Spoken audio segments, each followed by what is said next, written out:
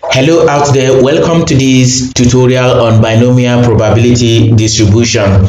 We'll be looking at the formula, the properties, and some solved problems on binomial probability distribution. So we start with introduction, the binomial probability distribution is a very good approach for resolving probability involving random experiments which has two possible outcomes. The outcome that the event will occur and the outcome that the event will not occur. The tossing of a fair coin and throwing of unbiased die repeatedly are typical examples. In the case of a coin, we consider it either a head or not a head. It could be either a tail or not a tail. And invariably there are two options there. If it is not a head, then it is a tail. Also for a die, we may consider the event of having 6 or not 6 and any other choice of numbers. Now we now look at the formula.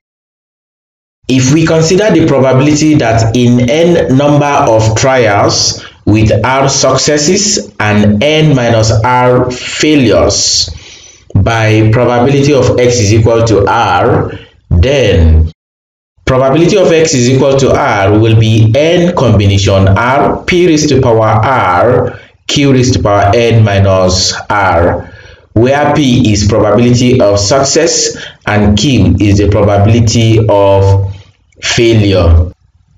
Recall, n combination r is n factorial over n minus r factorial times r factorial. Also, note that the events are independent of one another for the number of trials. Remember, if it is a die, you throw the first one, the outcome will not affect the throwing of the second one repeatedly in that order. The same thing for a die. Now we look at properties of binomial probability distribution. If we denote the mean and standard deviation of the binomial distribution as mu and sigma respectively, then the mean mu is np Standard deviation, that's sigma, is equal to square root of npq. And finally, variance, which is sigma squared, is npq. So now we go into solving problems. Example 1. A fair coin is tossed 6 times. Find the probability of obtaining A exactly 4 heads, B at least 5 heads, and C at most two heads. So in our solution, we bring in the binomial probability distribution formula. That is, we need to get our R, our N, our P, and our Q. So also we get our N.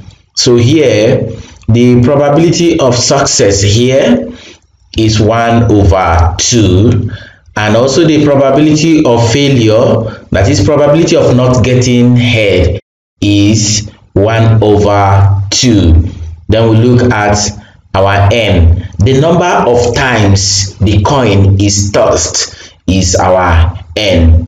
So we have it as 6 and remember for a our r is 4 so probability of getting exactly 4 heads out of tossing the coin for six times and that is going to give us six combination four times success which is 1 over 2 raised to power r and our r is 4 that's going to be 1 over 2 to the power of 4 then times failure which is also 1 over 2 that is not having head then raised to power n minus r 6 minus 4 which gives 2 so simplifying this 6 combination 4 is 15 times 1 over 16 times 1 over 4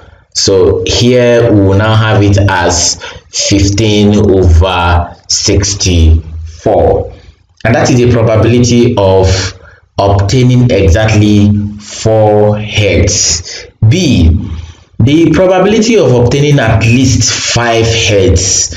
Now since the probability says at least five heads so the least you can get out of the six row is five. So we can have five heads and one tail or all of them six.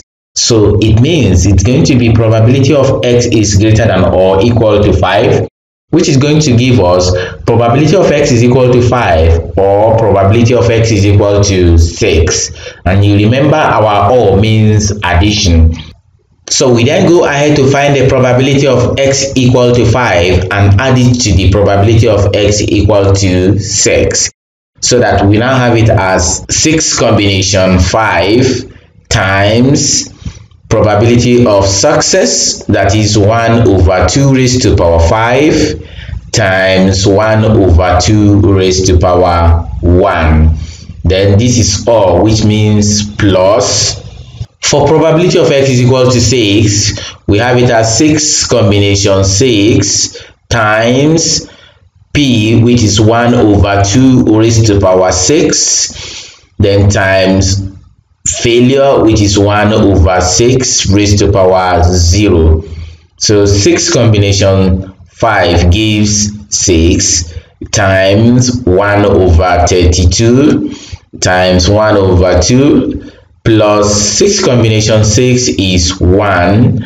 times 1 over 64 times 1 since half raised to power 0 is 1 so simplifying this, we have it as 6 over 64 plus 1 over 64 and that gives our final answer as 7 over 64 which is the probability of obtaining at least 5 heads when a coin is tossed 6 times. So we go to C part of the problem. For C, at most 2, at most the highest we can get there two heads. So in this case now we are going to have it as p of x less than or equal to 2 which is going to give us probability of getting 0 that is x is equal to 0 or probability of x is equal to 1 or probability of x is equal to 2 so we now find the probability of x is equal to 0 that of x is equal to 1 and x is equal to 2 and sum them up.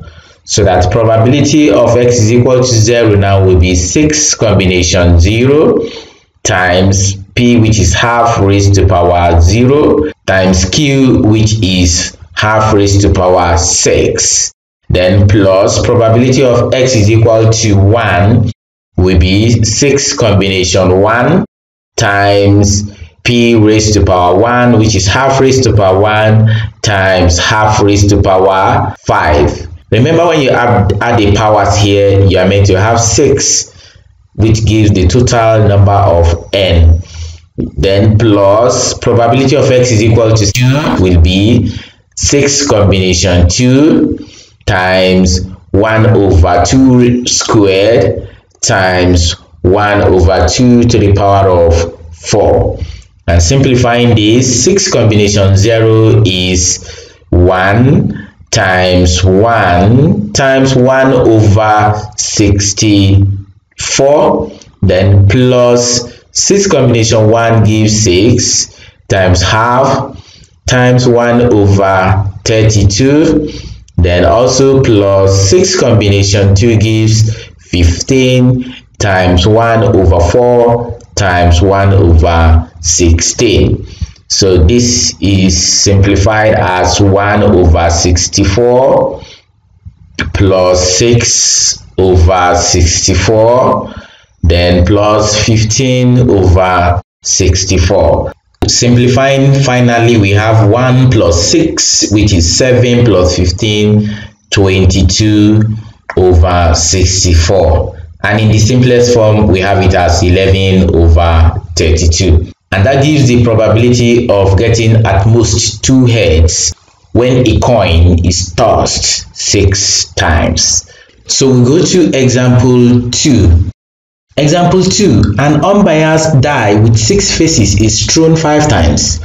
Find the probability that A, a factor of 6 appears exactly 3 times, B, a perfect square appears at most 4 times. In this problem, we are going to treat A and B separately because the event in A is different from the event in B. So starting from A, we need to get our sample space which is the numbers on the faces of a fair die. So we have it as 1 to 6 and n of s is 6. The event space of getting a factor of 6 is f and the factor of 6 here are 1, 2, 3 and uh, 6 and n of f is equal to 4. The essence of having this is to enable us get the values of p and q. So to get our q, which is the probability of success for obtaining a factor of 6, will now be 4 over 6. In the simplest form, we have it as 2 over 3 then the probability of not having a factor of 6 which is q will be 1 minus 2 over 3 and that gives 1 over 3 our n here is 5 since the die is thrown 5 times. And our r which is exactly 3 times will give us 3 so that probability of x is equal to 3 will be 5 combination 3 times 2 over 3 raised to power 3 times 1 over 3 raised to power 2 since 2 plus 3 gives uh, 5 which is our n. So 5 combination 3 gives 10 times. Simplifying this that will give us 8 over 27 times 1 over 9 and finally we have it as 80 over 243 and that is the a part of example 2 we go to b part of the problem. Um, here we still maintain our sample space which is still 1 to 6 and n of s is 6 then for perfect square we represent the event space as e which is going to give us a 1 comma 4 the perfect squares here are 1 and uh, 4 and we have n of e to be equal to 2 this will enable us get the values of p and q. So probability of having success, that is having a perfect square, will be 2 over 6, which is equal to 1 over 3. And for Q, which is the probability of not having a perfect square, will be 1 minus 1 over 3, which is 2 over 3. And our N is still 5. And then our R, since it is at most four times then the highest we can get there is 4 which means we can have it as a 0 1 2 3 and 4 we can't get more than 4 since it is at most 4 times. So the probability now of having x less than or equal to 4 will be probability of 1 minus probability of x is equal to 5 because in the entire space it is only 5 since it is thrown 5 times. It is only 5 that is not there. So we can just quickly say 1 minus probability of getting 5 so that's going to give us 1 minus 5 combination 5 times p which is 1 over 3 to the power of 5 times 2 over 3 to the power of 0 and that will give us 1 minus 5 combination 5 is 1 1 over 3 to the power of 5 is 1 over 243 then times 1 since 2 over 3 to the power of 0 is 1 so that 1 minus 1 over 243 will give us 242 over 243 and that is the probability of obtaining perfect square at most four times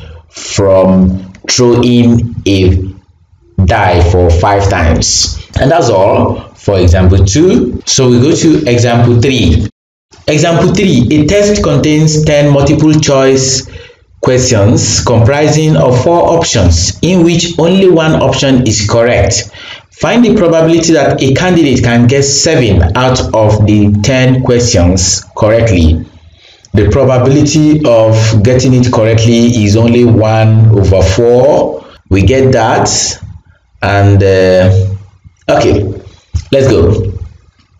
The probability of getting one of the questions correctly is 1 over 4 and uh, the probability of getting it wrong is 3 over 4 so that our n is 10 since there are 10 multiple choice questions and uh, our r is going to be 7 so that the probability of x is equal to 7 will be 10 combination 7 times 1 over 4 to the power of 7 times 3 over 4 to the power of 3 so 10 combination 7 is 120 times 1 over 16,384 that is 4 raised to power 7 times 27 over 64 so simplifying this we have our answer as 0 0.003089 which represents the probability that a student can guess 7 out of the 10 questions correctly. And that's the end of example 3. We go to example 4. For example 4, the probability that a patient will be cured of coronavirus when injected with the new vaccine is 0.8. Find the probability that exactly 3 out of the 8 coronavirus patients will be cured on being injected with the vaccine. So again, we know our probability of success, that is uh, P is 0.8 and Q will be 1 minus 0.8 which is 0.2. Our N is equal to 8 since there are 8 patients and uh, our expectation is 3 so r is equal to 3 the probability of x is equal to 3 will be 8 combination 3 times 0.8 to the power of 3 since p is 0.8 times 0.2 to the power of 5 so we are done. So from here we have 8 combination 3 to be 56 and 0 0.8 to the power of 3 gives 0 0.512 and 0 0.2 to the power of 5 we give 0 0.00032 simplifying this we have the probability to be 0 0.00917504 which represent the probability that 3 out of 8 coronavirus patients will be cured on being injected with the vaccine. And that's the end of solution to example 4. This is the highest we can take in this tutorial. Please like and share this video. Remember to subscribe to our YouTube channel if you have not done that. Also check the description section of this video on our YouTube channel to get other videos on probability. Until we come your way again, goodbye.